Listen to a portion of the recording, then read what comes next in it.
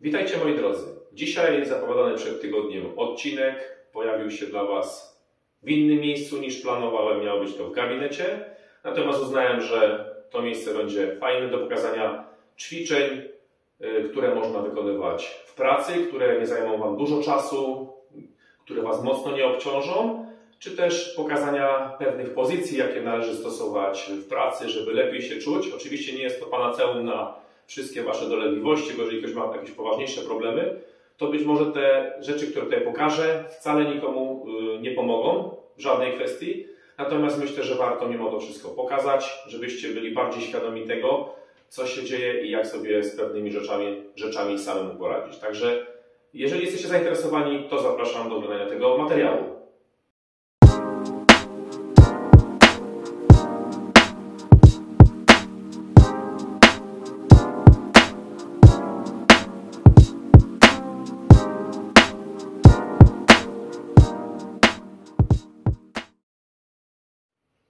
Samym początku zacznę może od przypomnienia Wam o tych czterech głównych zasadach, czyli po pierwsze, nie siedzimy, tylko częściej wstajemy, poruszamy się. Nawet sama taka zmiana pozycji, że ja siedziałem na krześle 20-30 minut, bo to będzie jako druga zasada, że wstajemy co 20-30 minut, ale też nawet ta sama, y, samo wstanie sprzed biurka po 20, góra 30 minutach jest dobre dla naszego organizmu, ponieważ nasze ciało też jakby zmieni pozycję też trzeba troszkę być, że tak powiem, w napięciu, a jak siedzimy, to jednak te nasze mięśnie są wyłączone z pracy i więcej mamy tej szkody niż pożytku dla naszego ciała. Biodra są zamknięte, kręgosłup jest pochylony, tak jak powiedziałem, y, miednica się inaczej ustawia i to jest bardzo ważne.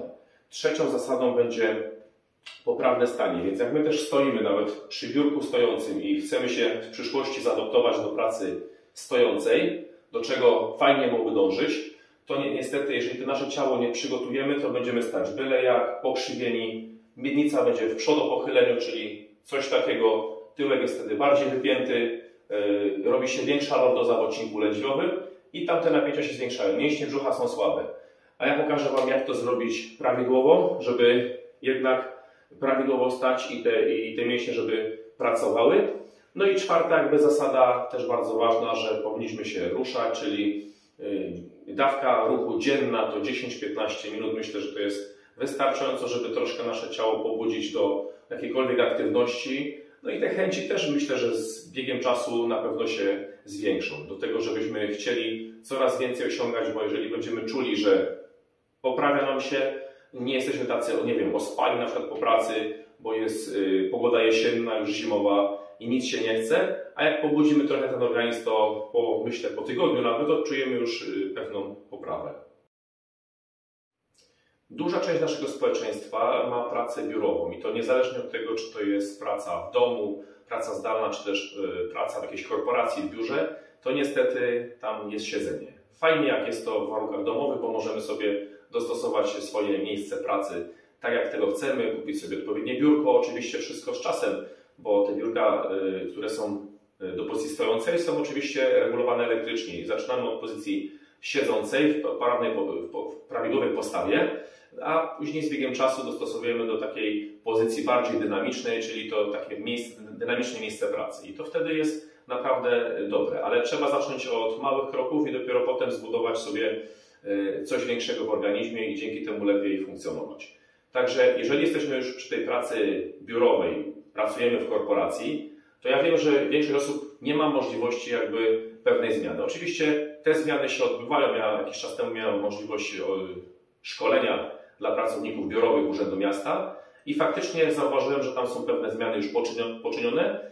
Starałem się dostosować te biurka do ich wysokości, ale co z tego, że oni te biurka mają regulowane elektrycznie, jak to wszystko jakby nie jest idealnie dostosowane. Nie używają tego w pozycji stojącej, mają źle dostosowane podnóżki, monitory. Nie wszystko jest jeszcze tak, jak to powinno wyglądać. Stąd też takie szkolenie było. Natomiast jeżeli już faktycznie siedzimy i to, i to stanowisko pracy jest fatalnie y, dla nas dostosowane, to co możemy dla siebie zrobić? To przede wszystkim zacznę może od tego siedzenia. Także jeżeli siedzimy, to większość osób korzysta z oparcia. Wiadomo, to nie są takie zwykłe krzesła, które uważam, że są lepsze aniżeli te fotele biurowe, które jakby wyłączają nas z możliwości poprawnego siedzenia. Tamte siedziska są wielokrotnie dosyć miękkie, zapadnięte, ustawione pod złym kątem, złym profilem. Poza tym one jeżdżą po podłodze, nie są takie stabilne, mają te podstawki pod, pod przedramiona, czyli te oparcia i nie jest to dobre. Ja bym te oparcia praktycznie w ogóle wyeliminował, bo one w niczym nam nie pomagają, a wręcz szkodzą, bo nie możemy się wsunąć pod biurko i pracować y, prawidłowo. Siedzimy gdzieś tam daleko, ręce są wyciągnięte, y, ktoś może siedzieć byle jak, bo na przykład tak siądzie i wtedy tutaj nam ten kręgosłup lędźwiowy, ja może trochę przesunę, mam nadzieję, że jestem w kadrze, ale na wszelki wypadek, żeby nie uprawiał materiału. No więc te plecy są y, w takiej pozycji. Tu mamy pochylone ciało, a tam się tworzy taki przeprost, znaczy przeprost, tam plecy są po prostu płaskie. A jeżeli my siądziemy, powiedzmy, na jednej trzeciej krzesełka, nie znowu tak blisko brzegu, żeby się to wszystko pochyliło, ale na tyle stabilnie, to wtedy siedzimy na guzach kulszowych. I to jest prawidłowa postawa. Moglibyśmy zacząć od takich krótszych czasów, powiedzmy pięciominutowych, spróbować sobie posiedzieć w miarę możliwie wyprostowanej pozycji. Jest to możliwe do wykonania, pod warunkiem, że wcześniej ustabilizujemy nasze ciało. Czyli w jaki sposób? Oczywiście ćwicząc, wzmacniając mięśnie brzucha, mięśnie pośladkowe, mięśnie przykręgosłupowe, e, ogólnie wzmacniając całe nasze ciało, e, będzie taka dobra równowaga mięśniowa i to nam pozwoli na zbudowanie jakby takiego odpowiedniego balansu w ciele, bo jeżeli tego nie ma, to od razu będzie to, gdzieś tam ktoś się na bok pochyli, położy sobie nogę. Na nogę, co też jest nieciekawym sposobem właśnie siedzenia. Znaczy, tak, jeszcze można by było siedzieć szerzej, z otwartymi biodrami, czy też powiedzmy w ten sposób. Ja za chwilę też Wam pokażę inne możliwości siedzenia. Ale jeżeli ktoś gdzieś tam nogi podkłada, czy z tyłu na przykład, czy na jedną stronę gdzieś jest pochylony, to jest bardzo fatalna pozycja. Więc siadamy sobie na brzegu, ale stabilnie, na guzach kulszowych, w pozycji wyprostowanej ta miednica mimo wszystko lepiej się układa, aniżeli my zrobimy to. Bo dodatkowo dochodzi to, że barki są w protrakcji, klatka piersiowa się zapada, cierpi na tym przepona, cierpią narządy wewnętrzne, cierpi na tym przede wszystkim kręgosłup lędźwiowy w większości przypadków i kręgosłup piersiowy, ale też, też szyja, bo ona jest pochylona. Więc ta pozycja jakby jest najlepsza. Kolejną pozycją będzie pozycja może zrobię to inaczej.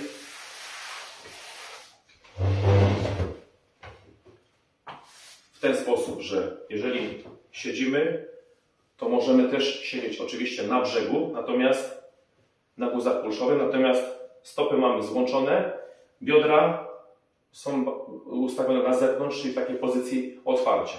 I to jest tak zwane męskie rozwarcie, ma taką swoją nazwę i jest to na pewno lepsza pozycja.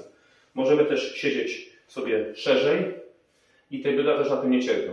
Znaczy wiadomo, że mimo wszystko cierpią, ale nie aż tak bardzo, gdybyśmy siedzieli, tak powiedziałem wcześniej, całkowicie oparci, czy też y, mieć, mieć jeszcze większy kąt tutaj jakby zgięcia w stawach biodrowych. Także to będzie jakby pierwsza ważna dla Was y, instrukcja, jak należy prawidłowo siedzieć przed komputerem przy biurku. Teraz tak, jeżeli mówimy już o tym staniu, to niech to będzie poprawne stanie. Nawet nie wiem, jak z kimś rozmawiamy, to też, żeby nie stać byle jak, czy powiedzmy stoimy gdzieś tam dłużej w jakimś miejscu publicznym, to też, żeby nie stać po prostu byle jak. Chodzi o to, żeby te nasze stopy nie ustawiały się w ten sposób, ani do środka. Wiadomo, że są osoby, które mają tendencję, bo mają to ślabość kolan i te nogi będą mi tam do środka e, po prostu się te, te stopy ściągały. To samo osoby, które mają przypotawe nogi, to będą bardziej na zewnątrz, ale też mające inne problemy jakby z biodrami. Natomiast prawidłowa postawa to jest taka postawa e, neutralna, czyli te stopy są w pozycji jakby takiej pośredniej ustawione i to jest jakby najlepsze dla, dla. Więc przede wszystkim ustawienie tych stóp, wkręcenie ich bardziej do środka i dzięki temu też jakby poprawnie stoimy, obciążamy odpowiednio stopy. Czyli obciążamy piętę, pierwszą śródstopia, i piątą, czyli są te takie trzy punkty podparcia stopy. Stoimy prawidłowo, ja teraz się specjalnie ustawię bokiem, żeby to pokazać, więc też nie jakoś tak byle jak, czyli też brzuch musi być w lekkim napięciu. to powinniśmy sobie wypracować taką pozycję, czyli najlepiej położyć sobie ręce na biodra i zrobić ten ruch, czyli do tyłu pochylenia, ustawiamy sobie same miednicę w ten, w ten sposób. Y, brzuch jest w lekkim napięciu i w ten sposób y, staramy się tą pozycję kilka sekund utrzymywać. Więc to jest jakby kolejny element. Następny element to jest, żeby te plecy nie były pochylone, więc y, barki, żeby nie były w protrakcji, czyli musimy zrobić do retrakcji, czyli do tyłu, je ściągnąć. Już mamy ten brzuch napięty, mamy tą bazę tutaj z brzucha, więc musimy jeszcze ściągnąć sobie łopatki. Więc to jest kolejna kwestia, ustawienie łopatek, żeby je ściągnąć. I wtedy te, też te jakby głowy kości ramiennych też się inaczej ustawią i to będzie prawidłowa, prawidłowa postawa. Kolejna rzecz to jest głowa, czyli ta głowa nie może być wysunięta do przodu, czyli robimy sobie tak, że palca na brodę i robimy cofnięcie. I w takiej pozycji powinniśmy stać. To nie jest takie stanie jak, jak robot, natomiast to jest poprawna pozycja ciała i od tego powinniśmy tak naprawdę zacząć. Wiadomo, że do tego jak dołożymy odpowiednie ćwiczenia, które wzmocnią nasz cały tułów, czyli brzucha, mięśnie brzucha, bo one są jakby głównym stabilizatorem naszego kręgosłupa. I jeśli mamy tutaj tą bazę słabą, to niestety kręgosłup na tym też będzie cierpiał. Oczywiście mięśnie odcinka lędźwiowego, mięśnie przykręgosłupowe, które też ten balans nam tutaj e, nie będą zaburzały, bo, bo wzmocnimy i przód, i tył, i to wszystko będzie tak zbalansowane, że będzie prawidłowo. Kolejną kwestią to są wzmocnienie mięśni pośladkowych, wzmocnienie, wzmocnienie mięśni czworogłowych i dzięki temu uzyskamy większą stabilność naszego ciała. Także te ćwiczenia warto wykonywać. Do tego mobilizację stawów. Też za chwilę pokażę kilka takich prostych rzeczy, które można robić, y, jak sobie pomóc w niektórych sytuacjach, kiedy gdzieś tam ból się pojawi i doskwiera, ale to za chwilę w dalszej części tego materiału. Po powrocie z pracy starajmy się siadać raczej na ziemi, aniżeli na jakichś niewygodnych sprężynowych łóżkach, fotelach, y, pufach, cokolwiek innego. Dobre jest siedzenie na ziemi i to wydaje mi się kilka minut y, należałoby preferować. To nie jest tak, że też od razu można to osiągnąć. Wiadomo, że stopniowo etapami. Na początku można siedzieć po, nie wiem, 5 minut, a z czasem sobie dokładać po 10-15 minut i w ten sposób też starać się każdego dnia odpoczywać. Siedzenie na ziemi z otwartymi biodrami, czyli w tej pozycji. Oczywiście nie każdy może to wykonać, bo jeżeli ktoś ma już duże sztywności w tych stawach biodrowych, to nawet nie jest w stanie tej nogi na nogę położyć. Słabo ktoś rozciągnięty, tym bardziej nie położy tej nogi tak wysoko. Natomiast samo położenie już tak nóg, jeżeli ktoś jest w stanie, to bardzo dobrze. Jeżeli ktoś ma takie duże przykurcze, że tylko tak siądzie, podłożyć sobie jakieś poduszki na boki, to też będzie lepsza pozycja, na pewno, bo przynajmniej robimy wszystko w kierunku otwarcia tych bioder. Ja jeszcze też pokażę za chwilę ćwiczenie, jak sobie te biodra inaczej otwierać, bo wiadomo, że jak siedzimy, to one są zamknięte w tej pozycji i to jest no, bardzo złe dla naszych y, stawów biodrowych. One są później bardziej przykurczone, pewne mięśnie nie pracują, inaczej ustawiają się głowy kości udowych y, w panewkach stawów biodrowych. No i z biegiem czasu myślę, w przeciągu kilku lat dochodzi tam do zwyrodnień stawów, biodrowych do, dochodzi tam do tego, że no, ci pacjenci później są kierowani yy, na operację stawu biodrowego, czyli są zakładane im endoprotezy, wstawiane są im endoprotezy, które, z którymi muszą już funkcjonować do końca życia. Tak więc róbcie wszystko, żeby te wasze biodra dobrze funkcjonowały, bo one wam mają wam starczyć na kilka lat. Także ta pozycja otwarta będzie dobra. Kto, kto wejdzie na wyższy poziom, może sobie tą nogę jedną zacząć kłaść wyżej, jak już się dobrze porozciąga a potem z biegiem czasu kłaść y, drugą nogę wyżej. Ja oczywiście też mam jakieś pewne y, ograniczenia czy możliwości, natomiast na tyle, ile mogę, to też jestem w stanie y, te biodra rozciągać i na pewno czuję się dzięki temu lepiej. Teraz chciałbym pokazać mobilizację taką piłeczką, które warto wykonywać, żeby mobilizować nasze tkanki, żeby je rozciągać. I pokażę Wam, jak to prawidłowo robić. Takie kilka takich miejsc, które moim zdaniem są ważne podczas naszego siedzenia, co się może dziać. Zacznijmy od tego, co, co się dzieje w pośladku, czyli jakieś bóle, jeżeli są tutaj w okolicy pośladka, to możemy sobie taką piłeczkę podłożyć i staramy się pracować na, na małym obszarze. Czyli wolę użyć takiej piłeczki niż całego rollera i mówić komuś, że warto jakby pracować na całej, całej powierzchni mięśnia. Nie, warto pracować na, na małych powierzchniach, dlatego że już kiedyś o tym wspominałem, że powięź nie lubi takiego dużego nacisku yy, i jeszcze bardziej się po prostu podczas takiej pracy yy, rolującej danego mięśnia niestety bardziej się usztywnia. Dlatego pracujemy sobie na małym obszarze, więc możemy taką, na takiej piłeczce sobie usiąść, nic się nie stanie, ona nie pęknie i miejsce, które jest bolesne, możemy pracować sobie małymi ruchami i starać się trochę je rozluźnić. Wiadomo, że to nie jest takie panaceum na każdą sytuację, bo czasami problem jest bardziej złożony i warto się udać do fizjoterapeuty i on wtedy oceni, gdzie leży problem i co na przykład na ten problem wpływa, bo może to być całkiem inne miejsce. Ale jeżeli używam, to uważam, że warto sobie samemu doraźnie pomóc. Więc pracujemy sobie krótko, 2-3 minuty na takich małych ruchach, żeby te struktury porozluźniać. To jest jedno, na pośladek. Kolejne, na stopę i to też zalecam na przykład przy ostrogach piętowych, bo to jest bardzo fajne, żeby sobie pracować piłeczką, która się znajduje pod stopą, też jakby rozciągać te łuki, bo one też często są przykurczone, no, nosimy różne obuwie przez kilka godzin. Już nie wspomnę o tym, jak y, kobiety chodzą na obcasach, bo na przykład pracują w takiej firmie, że jest to od nich wymagane. To już w ogóle jest dramat i nie są w stanie jakby zmienić na miękkie obuwie. No to tym bardziej powinny sobie w ten sposób pracować, też małymi ruchami, żeby to rozciągać. Czyli znajduję takie miejsce bólowe, zahaczam się i pracuję małymi ruchami. To nie chodzi o to, żeby sobie szybko e, jeździć na tym, tylko pracować i na przykład, o, tu mnie boli, zatrzymuję się i pracuję, i zatrzymuję się i chwilę, niech to chwilę pozwoli ta tkanka odpuścić. Ale mogę też, że tak powiem, jeździć stopą na małych ruchach i to miejsce jakby w ten sposób rozpracowywać, rozciągać. I to też 2-3 minuty na małym obszarze. I to jest drugie miejsce, które można sobie rozpracowywać.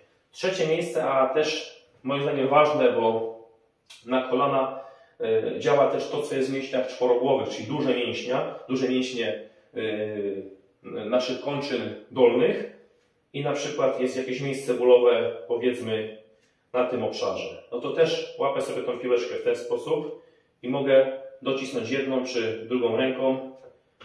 Noga jest swobodnie położona, żeby nie była w jakimś napięciu i rozpracowywać. O, na przykład ja znalazłem sobie możliwość, jak będziesz tutaj, coś, coś mi tam dospiera, delikatnie nie jest to jakaś, jakaś poważna sprawa, ale gdyby to było coś większego, to mogę sobie na tym obszarze małym pracować. Jeżeli tutaj mnie nadjarazki nie bolą i nic mi nie powoduje tutaj dyskomfortu, to mogę też małymi ruchami pracować. A mogę sobie tą piłkę po prostu złapać też i w ten sposób mobilizować tkanki. To jest trzecia rzecz. Czwarta, bardzo często pacjenci narzekają, że przychodząc, że gdzieś mieli tam na przykład bóle między łopatkami. Między łopatkami po jednej czy po drugiej stronie. To też piłkę sobie ustawiam tak, jak mogę złapać, ile mogę sięgnąć w to miejsce. Opieram sobie o ścianę. Zahaczam i pracuję też małymi ruchami w różnych kierunkach, żeby to zmobilizować, żeby to rozciągnąć. To jest jakby takie czwarte dla Was ćwiczonko, yy, ta mobilizacja, która może Wam doraźnie pomóc w pewnych dolegliwościach. Oczywiście mówię, to nie jest panaceum na wszystko, bo jak problem będzie bardziej złożony, to niestety trzeba się udać do fizjoterapeuty i poszukać tego miejsca, które faktycznie generuje to, że akurat to wpływa na to, na ten ból. Bo tak też się może zdarzyć. To, o czym nie należy również zapominać poza tymi mobilizacjami, to również rozciąganie. To jest naprawdę bardzo dobre i fajne rozwiązanie dla naszego ciała, bo jak wiadomo, ciało lubi ruch, lubi tą aktywność, to, że za dnia tej aktywności mamy więcej, tak też lubi fajne rozciąganie, bo to dobrze wpływa na, na cały nasz aparat ruchu. Ciało staje się bardziej elastyczne, miękkie. Dzięki temu nic nie odczuwamy, nic nas nie ciągnie. Wystarczy popracować sobie troszkę Y, pewnymi technikami mobilizacyjnymi, ale również rozciąganiem i to naprawdę, uwierzcie mi, zrobi dużą robotę. Ale teraz pokazując Wam te rozciąganie. Oczywiście nie, ma, nie będę tutaj pokazywał y, rozciągania całego ciała, tylko takie przykładowe rzeczy, które można robić, zwłaszcza, że siedzimy, bo tu mówimy tylko w głównej mierze y, w dzisiejszym, dzisiejszym odcinku o tym, że dużo siedzimy i przez to powinniśmy zmobilizować pewne nasze tkanki do większego działania. Czyli może zacznę od tego, że łydki bardzo się, że tak powiem, nie to, że przeciążają, ale przykurczają, bo wiele osób jak siada, to gdzieś tam te nogi na przykład są tak. Na palcach czy gdzieś podkurczone. Więc wiadomo, że ta łydka ulega skróceniu. To, co mogę radzić, to na przykład opierać się o ścianę dłońmi. Jedna noga idzie do przodu i znowu musi być ta pozycja równa. Czyli nie tam jakoś krzywo w tą czy w tą stronę, czyli pozycja pośrednia. Jedna noga idzie do tyłu, my się opieramy o ścianę, a druga idzie do przodu. Więc pokażę, jak to zrobić prawidłowo. Powiedzmy, lewa noga w lekkim ugięciu kolano, prawa noga tutaj biodro całe od kręgosłupa, biodro przez pośladek, yy, kolano jest wyprostowane, piętę mam dociśniętą do podłoża i staram się pchać to ciało jakby do przodu. Ja muszę czuć, że ta łydka mi się tu rozciąga, więc nie mogę do kolana zginać. Ono musi być proste. W tej pozycji wytrzymujemy koło minuty czasu. Jeżeli ciężko na początku, to robić sobie po kilka sekund. Zmiana nogi, tą uginamy i tą.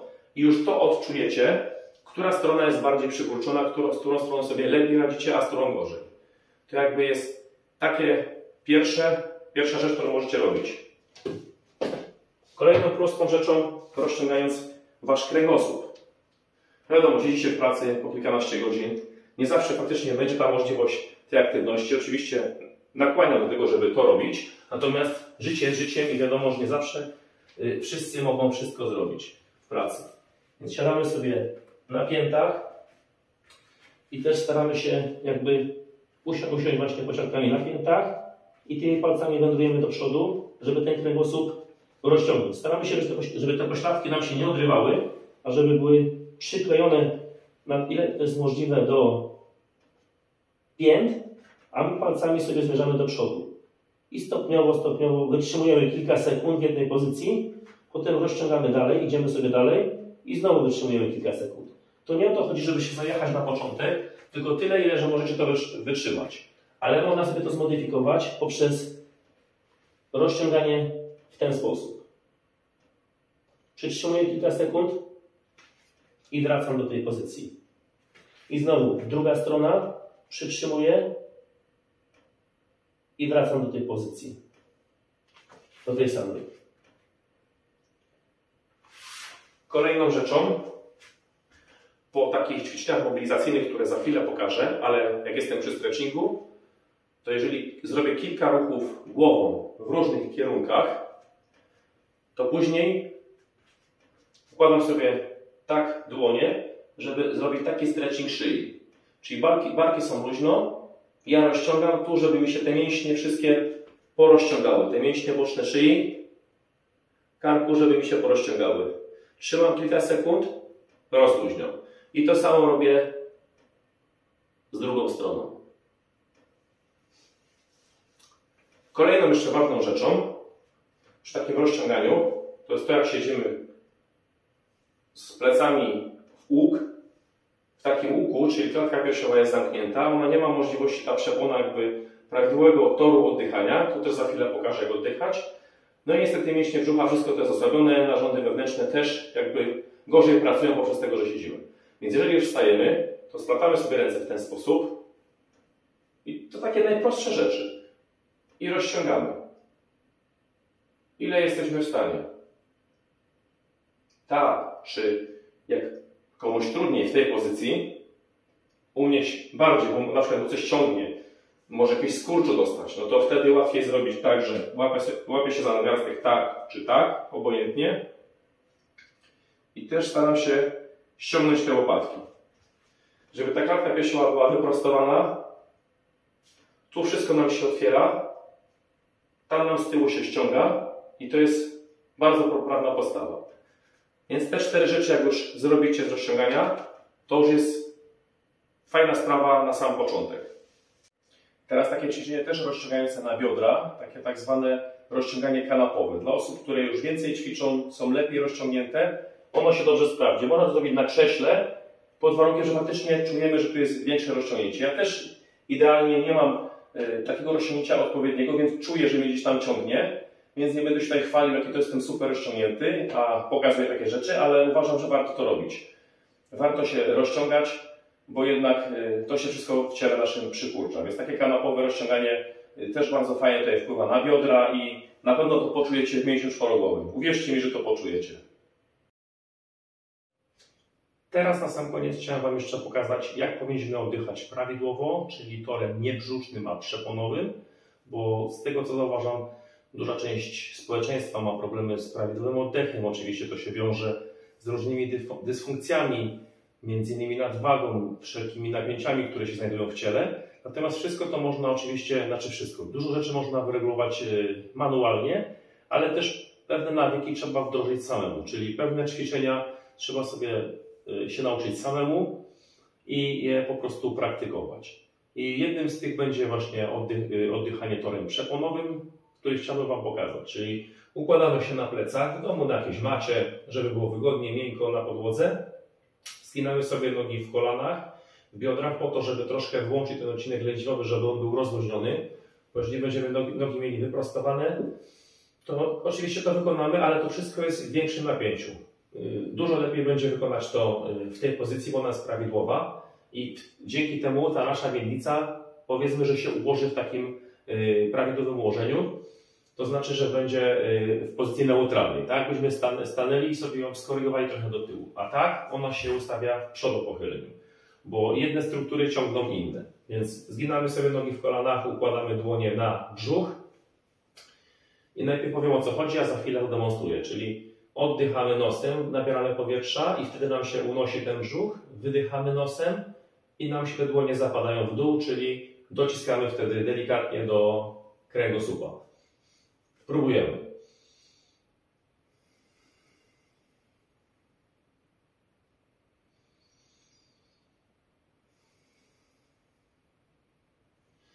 wykonać sobie to kilka razy, ale też, żeby nie przesadzić drugą stroną, żeby nam się też za bardzo w głowie nie zakołowało, żeby się, że tak powiem, nie przewentylować, bo jest to możliwe.